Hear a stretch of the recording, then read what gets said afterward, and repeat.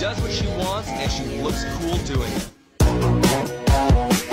Dermatologists really are seeing more young women with hair loss, and it's not just in your head. The past few years, dermatologists have documented a spike in telogen effluvium, a temporary shedding triggered by sudden shock to your body like illness and stress. I've definitely been seeing this a lot more in my clinic. Normally, about 10% of hairs are in the shedding phase, but with telogen effluvium, that can jump up to 30 to 40%. Some triggers include COVID, emotional stress, poor sleep, big hormonal shifts like stopping birth control, and nutrient deficiencies like low iron iron or vitamin D. Weight loss meds like Ozempic are also triggering telogen effluvium. I can link to that video below. It feels more common now. It's not just perception. Clinics are reporting more cases, especially in women in their 20s and 30s, me included. At the same time, social media has made hair loss more visible. People are openly posting about it, talking about it, which is great, but it also adds to the sense that it's everywhere. The good news is that most telogen effluvium cases are reversible once the trigger resolves. But if shedding continues past past six to eight months, if you're seeing widening of your part or circular bald spots or having a lot of scalp symptoms like soreness or redness or itching, it is time to see a dermatologist so we can get to the root cause of your hair loss.